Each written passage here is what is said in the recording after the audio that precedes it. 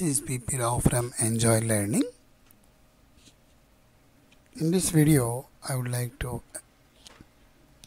explain about the acid base reaction that is neutralization.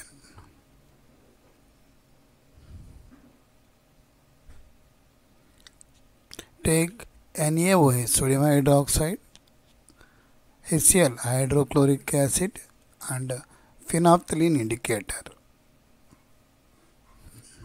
in three test tubes.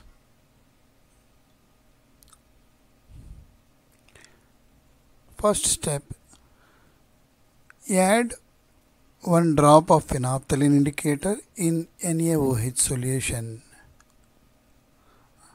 so that NaOH solution changes its colors becomes pink so the color of the solution becomes pink.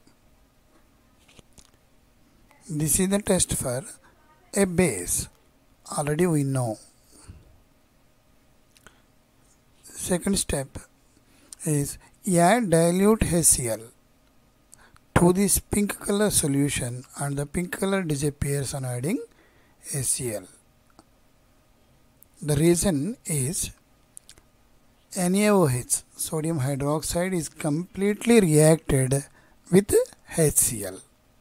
The effect of base is nullified by this acid HCl, any acid. Third step on adding NaOH solution again to this color less solution. The pink color reappears again. The reason is the solution becomes basic once again. So if you add HC, HCl the color disappears. And if you add NaOH the pink color reappears so this by this we conclude that the reaction of acid with a base to give a salt and water is neutralization reaction. We can say here we use NaOH aqueous solution plus HCl aqueous solution gives rise to sodium chloride plus H2O.